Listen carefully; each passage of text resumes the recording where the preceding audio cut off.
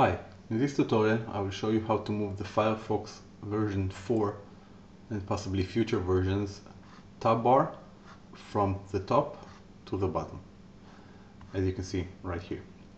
To do this we must first install this add-on TabMix Plus. Uh, you can find it simply by searching it uh, on Google or through the Firefox uh, add-on checker.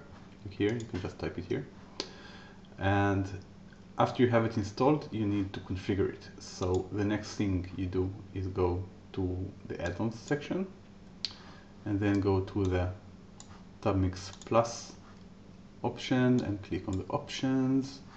And from here go to the display tab to the tab bar tab. And then here you can control the position. Right now it's set on the bottom as you can see. Uh, if I set it to the top you can see it moves up set it back down to the bottom and there you go.